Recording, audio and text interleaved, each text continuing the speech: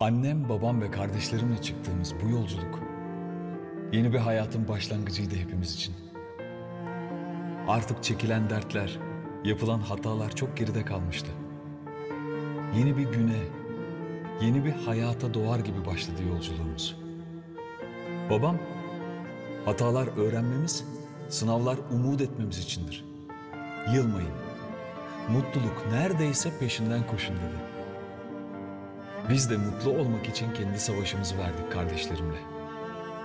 Asla vazgeçmedik. Babamın öğüdü, dedemin öğüdüydü.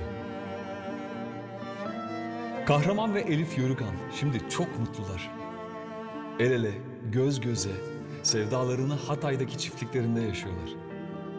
Her fırsatta dünyayı geziyorlar. Ece, güzel kardeşim, şimdi ödüllü bir piyanist.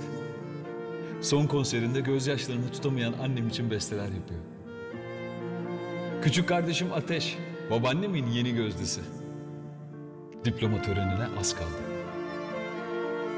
Ben mi? Ben Toprak Yörükan. Kaptan pilot olarak babamın izinde Yörükan Holding'in başındayım. Güzel karım ve küçük kızımla tıpkı annem ve babam gibi sevdamı yaşıyorum.